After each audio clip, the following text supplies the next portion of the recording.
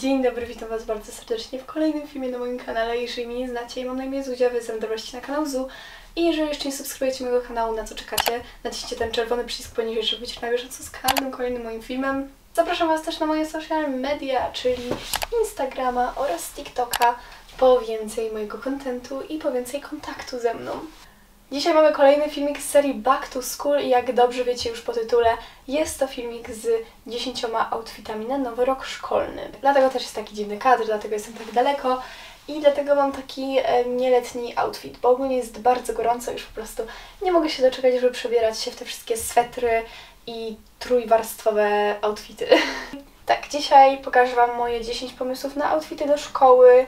Um, jest to filmik przede wszystkim dla mnie, żebym mogła do niego wracać, jak nie będę miała pomysłu na to, co ubrać i żebym mogła się inspirować, ale też dla Was, żebyście Wy mogli inspirować się mną. Od razu powiem, że ja raczej dress code'u w szkole nie mam, a raczej chodzę w tym, co chcę. Staram się nie szaleć, żeby nie było, ale na przykład dla mnie coś takiego Y, odkryty brzuch, bluzka na ramionczkach to nie jest nic złego i nauczyciele raczej też nigdy nie zwracają na takie rzeczy uwagi, dlatego nie zdziwcie się, że niektóre z tych ubrań, z tych outfitów mogą trochę bardziej odsłaniać ciała. No mnie to nie obchodzi, nie uważam, że w ogóle jakikolwiek dress code pod tytułem o, nie możesz odsłaniać brzucha czy ramion był odpowiedni i u mnie w szkole chyba właśnie czegoś takiego nie ma, a nawet jeżeli jest, to nikt na to nie zwraca uwagi, więc ja też nie będę.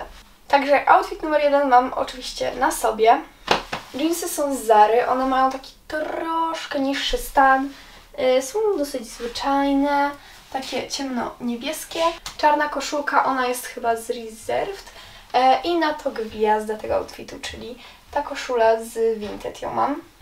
Ogólnie kupiłam tą koszulę na Vinted już jakiś czas temu, ale nie potrafiłam po prostu wymyślić z czym ją skompletować, bo ogólnie jest ona dosyć elegancka, daje mi vibe jakiś lat, tylko ja się nie znam na modzie za bardzo, więc nie wiem jakich dokładnie lat, ale wiecie, jakiś tam vibe przeszłości. Ma takie fajne dzwonowate rękawy, taki e, karbowany to się chyba nazywa materiał i e, jest w taki e, wzór jakby węża, coś w tym stylu i strasznie mi się podoba, ale ogólnie tak sama ona jest dosyć elegancka i po prostu nie miałam za bardzo okazji, żeby ją założyć, ale bardzo mi się podoba w takim połączeniu. Jako zwykła narzutka nawet nie wiedziałam, że będzie wyglądać aż tak fajnie, bo ogólnie przeszkowałam już te wszystkie outfity, aczkolwiek wiecie, nigdy wcześniej ich na sobie nie miałam, oprócz chyba jednego, który chcę Wam pokazać, bo jest taki, ale reszty nigdy wcześniej nie przymierzałam, nie przymierzałam jak te rzeczy ze sobą wyglądają, także być może niektóry z tych outfitów to będzie totalnie nie. I po prostu ubiorę to i mia będę miała takie up, może lepiej nie. Zobaczymy, sprawdzimy to razem. Kolejny outfit tutaj mam na komodzie w ogóle. E, te outfity są porozkładane po prostu po całym moim pokoju, ale to nic. E, chciałam bardzo zrobić outfit z tą koszulką, bo to jest kolejna e, rzecz z serii jest super, bardzo mi się podoba, ale jeszcze jej nie nosiłam, bo nie wiem gdzie i jak ją zestylizować.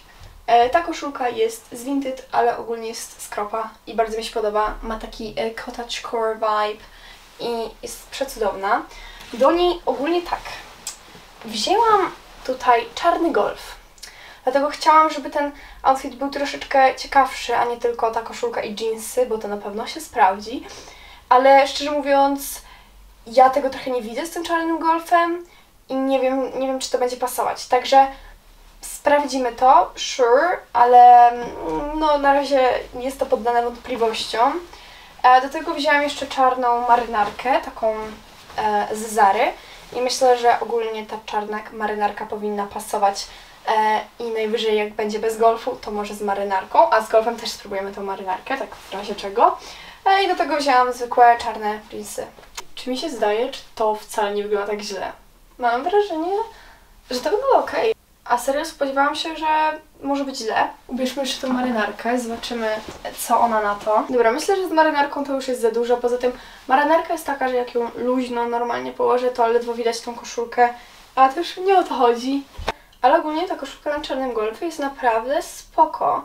Myślę, że mogę tak chodzić.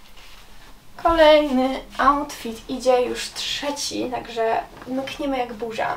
Na dół tutaj wzięłam takie białe jeansy, e, one są z mango i też mają troszeczkę taki niższy stan i są trochę bardziej obcisłe, więc ja staram się w nich chodzić jak najrzadziej, aczkolwiek są to jedyne białe spodnie, które posiadam, dlatego trzeba z nimi żyć. Do tego e, wzięłam białą koszulkę, taki zwykły t-shirt, który sama obcięłam, bo uznałam, że nie chodzę w zwykłej takiej długiej białej koszulce, bo przypomina mi to WF, więc ją obcięłam, e, no i spoko. E, ona jest z Vinted. I do tego mam e, taką kolorową, zieloną, spadła mi ta koszulka, kamizelkę z Zary, która w ogóle jest piękna sama w sobie. I zobaczymy, jak będzie wyglądać właśnie z tym białym t-shirtem pod spodem i białymi jeansami.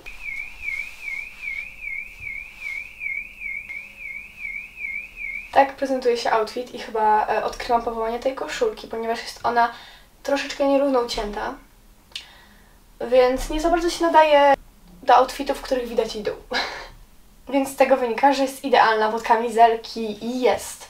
Myślę, że jest idealna pod kamizelki. Bardzo podoba mi się ten outfit, dlatego że jest cały na biało, co zaczęło mi się bardzo podobać i jest jeden kolorowy akcent, czyli ta kamizelka, która w ogóle jest przepiękna, uwielbiam ją. To jest taki outfit, jak jest jeszcze ciepło, jak będzie zimniej, to zamiast koszulki mogę zakładać zawsze golf albo koszulę białą, jeszcze można. Także różne opcje, ale ta na jakąś e, taką końcówkę lata, slash może jeszcze cieplejsze dni w jesieni, e, to serio super. Także muszę zapamiętać ten outfit i go szybko wykorzystać, bo wiecie, w szkole może nie być e, ogrzewania, więc póki jest ciepło. Outfit, który jest bardzo taki pinterestowy, bym powiedziała, ponieważ bardzo, bardzo dużo rzeczy na Pinterestie w tym stylu widziałam. I specjalnie kupiłam na Vinted taką zwykłą czarną bluzę, żeby mieć po prostu z czego robić ten outfit. Także tak, na górę jest czarna bluza, taka właśnie zwykła, e, bluzo, sweter w sumie, e, można powiedzieć, bo jest to po prostu taka lekka bardzo bluza, bez e, żadnego kaptura, bez niczego. Pod spód koszula, e, jest to koszula z Zary, zwykła, biała, fajna. Oczywiście jest ona po to, żeby ładnie wystawał kołnierzyk, żeby ładnie wystawały tutaj rękawy i może na dole coś, żeby ładnie wystawało. E, oraz do tego takie czarne materiałowe spodnie, które są e, takie bardziej eleganckie. Jeżeli ten outfit nie będzie grał ze sobą dobrze, to moje życie nie ma sensu, bo po prostu po co w takim razie kupowałam tą bluzę? E, moje życie w sumie ma taki połowiczny sens. Jakby jest serio ok, ale coś, coś mi tutaj nie gra, jakoś nie układa się tak dobrze, jakbym myślała. E, I może lepiej by jednak wyglądał zwykłymi jeansami, bo może to jest za dużo, że tutaj jest luźno, jeszcze w ogóle spodnie to się rozszerzają jeszcze bardziej. To jest mój outfit pod znakiem zapytania. Może jak będę teraz montować, to um, zdecyduję, czy faktycznie jest ok, czy nie. Bo nie wiem, czy wy też tak macie, ale jak jestem niezdecydowana co do outfitu, to zazwyczaj robię zdjęcie i patrzę na zdjęcie, bo jak patrzę na lustro, to to tego jakoś nie oddaję i, i muszę sobie popatrzeć w telefonie. Jak teraz będę montować, to będę jeszcze raz oceniać te outfity, patrzeć, czy na pewno są ok, czy na pewno są e, nie ok, jeżeli stwierdzę, że jakiś jest niefajny. Także tak on wygląda. Nie jest zły, wiecie, jest ok, basicowy, no biało-czarny, tak naprawdę co tutaj może pójść nie tak, ale mówię, coś, coś mi tutaj, coś tutaj jest taki, taki zgrzyt. Kolejny outfit jest dosyć basicowy i nie ma nawet jakoś bardzo warstw, ale chciałam go spróbować. Jest to taki sweter, który moja babcia zrobiła kiedyś, nie wiem czy na drutach, czy na szydełku, więc taki sweterek, do tego zwykła czarna spódniczka i wzięłam jeszcze moje długie skarpetki, ponieważ skoro mamy sweter, to na dworze jest już troszeczkę zimniej, e, a ja osobiście nie umiem chodzić w spódniczkach w zimę, aczkolwiek chciałabym spróbować chodzić w jesień, albo może kupię sobie rajstopy i będę też chodzić w zimę, będę szalona, e, więc to jest taki outfit jesienno-spódniczkowy. Chciałabym powiedzieć, że ten sweter jest prawie tak samo długi jak ta spódniczka, ale czy powinnam go założyć jako sukienkę?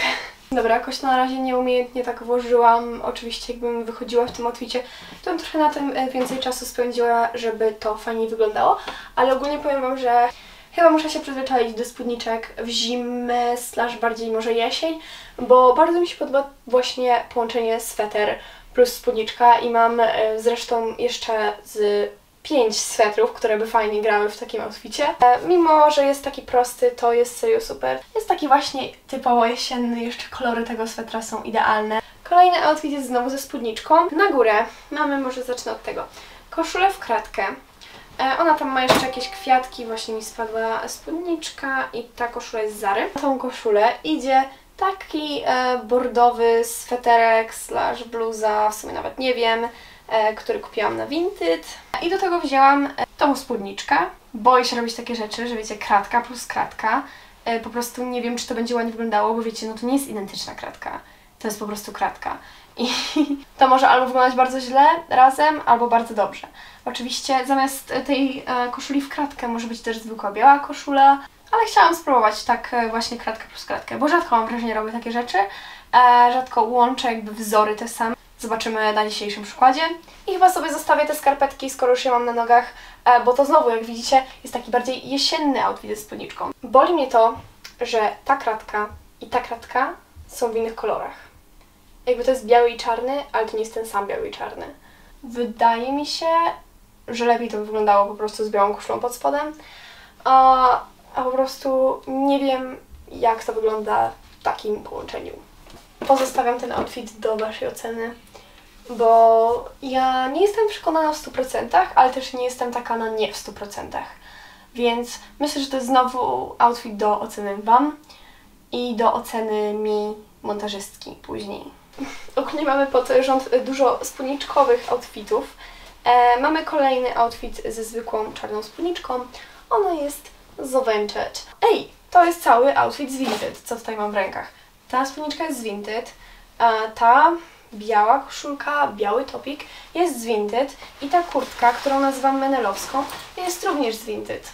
Ogólnie plan no to jest taki, że ta kurtka jest taka właśnie, no nie wiem jak to nazwać, ona jest trochę sprana, ona jest taka, no ja właśnie nazywam to menelowską. E, no i mamy czarną spódniczkę, wiadomo, ona jest dosyć e, taka, no nie chcę powiedzieć elegancka, nie nazwałabym czarnej spódniczki eleganckiej, no ale może wiecie o co mi chodzi.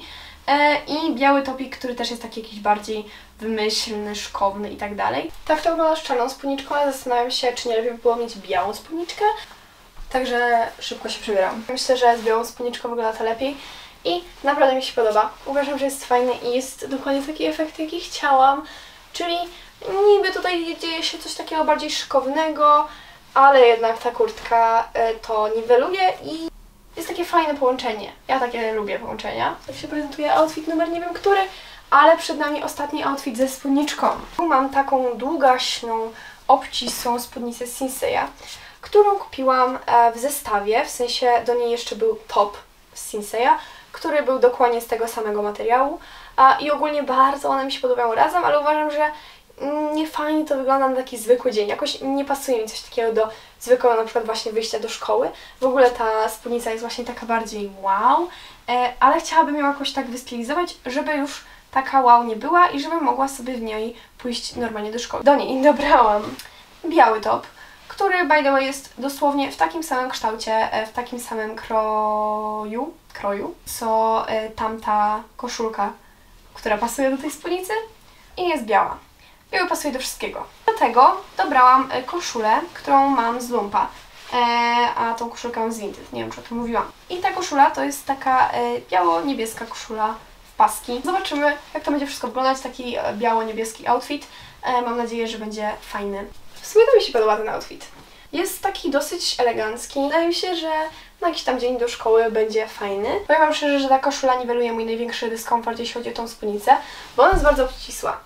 I ja po prostu nie lubię, jak mam coś obcisłego e, i widać mi dupę. Po prostu wolę spódniczki, które są tutaj luźne, fajnie rozkrowane, e, no ale nie mogłam się oprzeć tej. A tutaj koszula mi ładnie wszystko zakrywa i tak bardzo tego nie widać. Więc przez to czuję się po prostu bardziej komfortowo, także jest idealna. Przedostatni outfit, moi drodzy. Spodnie. Mamy takie, o, beżowe z berszki.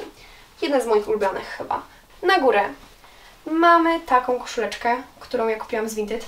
Ten topik jest taki ładny, bardzo mi się podoba. No i do tego mam jeszcze koszulę flanelową, którą kupiłam w Lumpeksie.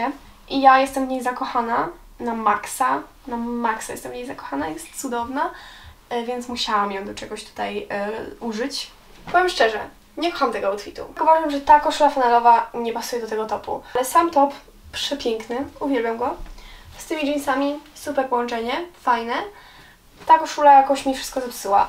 E, z momentem, kiedy ją założyłam, miałam już takie, mm, może jednak chyba nie. A wiecie co, mam pomysł. Założyłam taką czarną koszulę w paski i jest lepiej, ale nadal that's not really it. Nie jestem zadowolona w 100% ani z tego outfitu, ani z tego z koszulą flanelową, więc będę jeszcze szukać czegoś, co pasuje do tego topu, um, bo sam, on sam gorgeous. I słuchajcie, mamy już ostatni outfit. Outfit, który jest na dni pod tytułem Nie ubieram jeansów. W życiu. Dzisiaj nie ubieram jeansów. Bo takie dni też się zdarzają. Ale wiecie, to, że są dresy nie znaczy, że nie można e, ułożyć jakiegoś fajnego outfitu. I ten outfit, ja wiem, że ten outfit to jest po prostu cudo. Mamy żółte dresy z H&M-u, które są bardzo fajne, e, bardzo wygodne i bardzo ładne. E, mamy czarny topik z Stradivariusa, ten mój najbardziej basicowy, w którym chodzę praktycznie codziennie. I do tego fioletową koszulę z Vinted. Nikt mi nie wmówi, że on nie jest fajny i że nie wyglądam po prostu kozacko w nim. Kocham go, kocham go, kocham go e, i jest super, bo jest wygodny. Ta koszula, wiecie, też luźna, super. Na pewno go ubiorę, na jakiś sprawdzian z chemii, żeby mi było wygodnie. To jest już dziesiąty outfit. Także to było na tyle w tym filmie. Mam nadzieję, że podobały Wam się niektóre moje outfity. Jeżeli tak, to napiszcie, który. Możecie mi też napisać w komentarzu a propos tych outfitów, e, do których nie byłam przekonana. I oczywiście, jeżeli film Wam się spodobał, to nie zapomnijcie o beczce w górze i subskrypcji mojego kanału tam poniżej. I do zobaczenia w kolejnym filmie już bardzo, bardzo niedługo. Pa, pa!